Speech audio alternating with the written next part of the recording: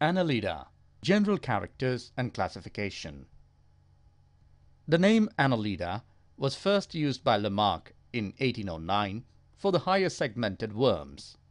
The word Annelida has been derived either from the Latin word annulus, meaning little ring, a French word anneler, meaning to arrange in rings. Annelida are triploblastic, bilaterally symmetrical, coelomate, and segmented metazoan. It includes well-known earthworms and leeches. General characters of Annelida. Cephalization is more pronounced with a distinct head bearing tentacles, eyes, etc.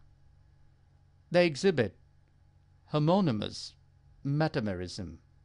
Body is divided into segments which are separated externally by intersegmental grooves and internally by intersegmental septa.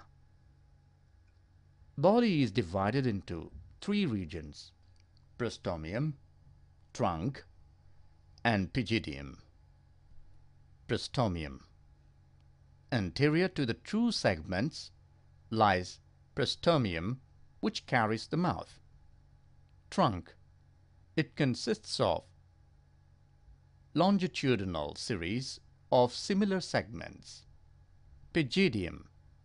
Post-segmented region posteriorly known as pygidium. There is a single pre-oral segment called peristomium.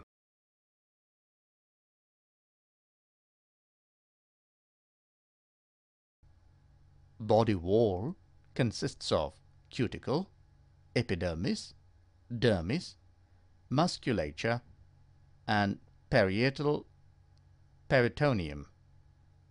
Body cavity is a true coelom.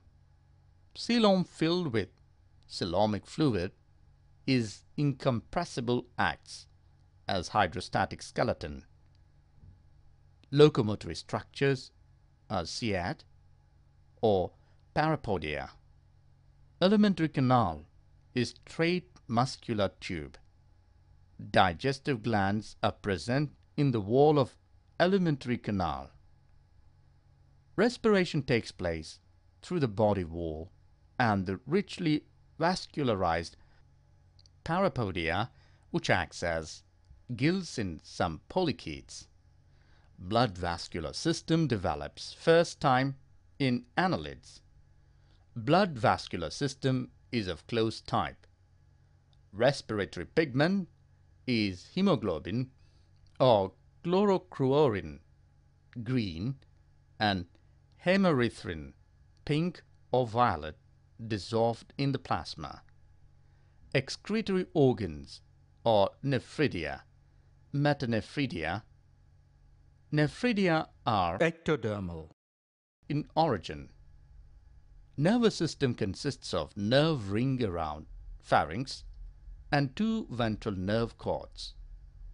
Brain and segmental ganglia are present. Sense organs like eyes, photoreceptors, chemoreceptors, and mechanical receptors are present. Sexes are separate or united. Fertilization is external, internal in hirudinians. Cleavage is holoblastic and spiral. Development is direct in bisexual annelids and indirect in unisexual annelids. Larva form is called trochophore larva.